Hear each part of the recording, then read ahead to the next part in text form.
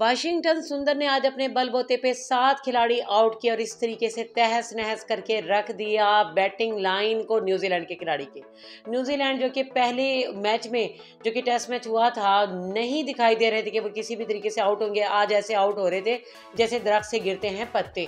जी, हम आपको ये भी बताते चले, विराट कोहली ने बहुत अप्रिशिएट किया वाशिंगटन सुंदर को। इसी तरह गौतम गंभीर तो हमें क्लैपिंग ही करते हुए नज़र आए और एक करके एक जाते रहे खिलाड़ी न्यूजीलैंड के।